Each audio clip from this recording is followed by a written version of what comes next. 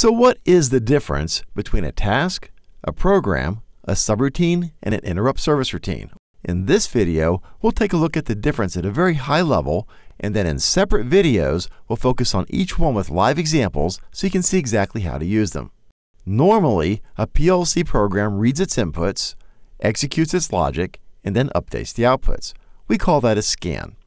Suppose we have a bunch of rungs of ladder code here, and the exact same lines of code here and here. Whenever you see redundant blocks of code like this, think about pulling that code out and putting it into a subroutine. Now the ladder code just has a single call to the subroutine, and all three call the exact same code. Now, if you have to modify it in the future, you only have to modify it in one place. That saves you time and effort and just makes your ladder code much easier to read and maintain. You can even pass the subroutine parameters, so if each section needs to use different values, you can do that too. The key thing to remember is the subroutine runs as if it's part of the main scan loop.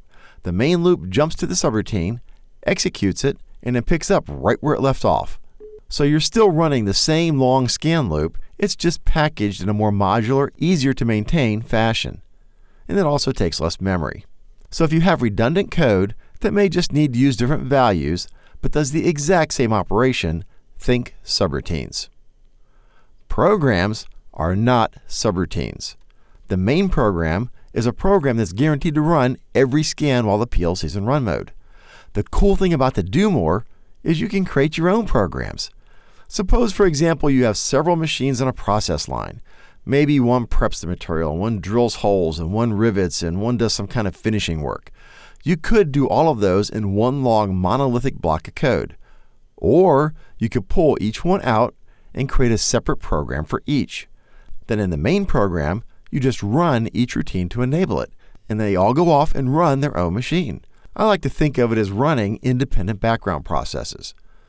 Programs are also good for processing asynchronous things, like handling of incoming messages.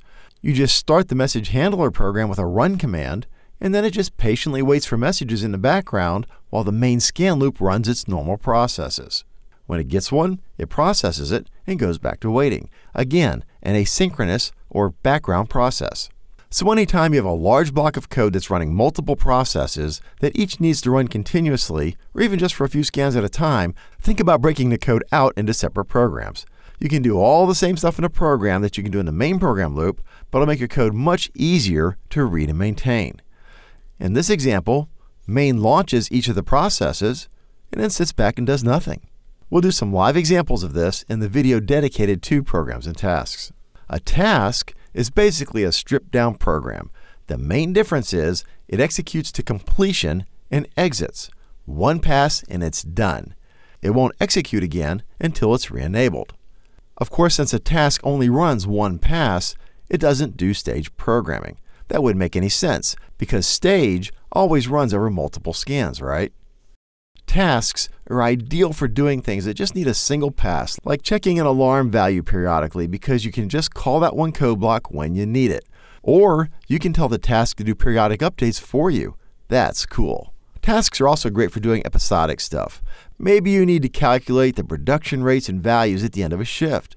And calculating all that stuff is going to take a long time relative to your scan. Well, look at this. You can tell a task to only run for a limited amount of time. We call that a time slice. So now it might take several scans to finish the calculations, but since it only does a little bit at a time, it doesn't affect your regular scan interval very much. That's a great way to make sure your episodic task doesn't overly burden your main scan loop and slow down your machine process. Time slicing can also be used with programs, so you could dedicate the bulk of the scan to one machine or process and the rest of the scan to all the others if you want to. That's one of the things that makes the Do More so powerful. You have complete control over exactly how your system runs. You also have complete control over when things run. You can tell the Do More PLC what order you want the various tasks and programs to run in. We'll do several live demos of time slicing and execution order in the video on programs and tasks. For now, just know that it's an amazing feature of the Do More PLC. Interrupt service routines are great for handling events that need to be serviced right now. You have a scan loop and maybe some programs and tasks, and they're doing their thing. But when a triggering event occurs, you want to run a specific block of code as soon as that event happens. Maybe you want to react to the rising edge of a signal when it occurs and not wait until the next scan to see something's changed, for example. That's a good example of when you would want to use an interrupt service routine, or ISR. It doesn't matter where the program is in a scan loop, the program immediately jumps away, executes the ISR, and then comes back to where the scan loop left off and continues on its way. It's kind of like a subroutine that can run whenever a triggering event happens. That triggering event could be an external input coming in, a timer timing out, all kinds of things. Of course, since it's interrupting the flow of the scan, you always want to make sure the ISR is just as short as it can possibly be. For example, in an ISR, all you would do is make note that the signal changed, and then let some other routine take care of the details later. Don't try to do much more than that with an ISR, otherwise it might impact your scan time. So we have subroutines, which are great for cleaning up redundant code. We have programs, which are really great for running independent processes. We have tasks, which are particularly good for periodic and episodic processes that only require one pass. And we have interrupt service routines, which are great for reacting immediately to an event of some kind. All of which make maintaining and debugging your code a whole lot easier. Now, this was just a very quick introduction. There's a whole lot more to this. So, check out the dedicated videos to learn exactly how to use each of these powerful tools.